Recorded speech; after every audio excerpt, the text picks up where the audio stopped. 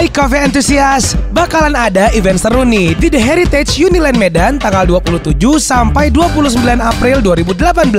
Generasi Kopi bakal bawa 30 tenan kopi dan F&B dari Jakarta dan Medan. Jangan lewatin coffee workshops dan talk show seputar kopi yang bakal dibawakan oleh figur-figur profesional di dunia kopi. Cek info lengkapnya di Instagram at arden underscore at ar D-E-N-T underscore.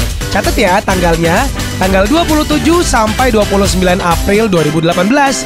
See you at Generasi Kopi, a coffee event made for everyone.